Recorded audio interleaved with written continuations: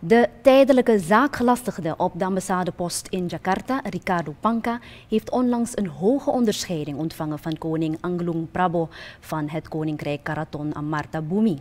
Met deze onderscheiding draagt hij de titel Kendang Raden Arjo en mag worden aangesproken met Yang Mulia, wat betekent zijn hoogheid.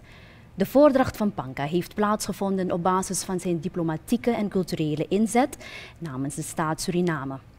Onder meer zijn inzet om de stedenband samenwerkingen tussen Jogjakarta Kommerwijnen, Bantul Paramaribo en Semarang Para nieuw leven in te blazen, droegen bij aan de onderscheiding.